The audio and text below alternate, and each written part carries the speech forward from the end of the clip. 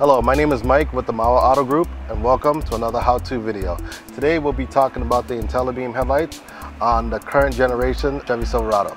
And what IntelliBeam headlights are is when you're driving down a dark road and you have your high beams on, if a car is coming towards you and you forget to turn your high beams off, that's where the IntelliBeam headlights come in. They will turn it off for you.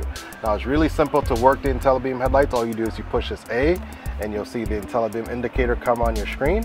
You push it again, you turn it off, and your IntelliBeam indicators will go off the screen. That's how simple it is to use the IntelliBeam headlights on the current generation Silverado.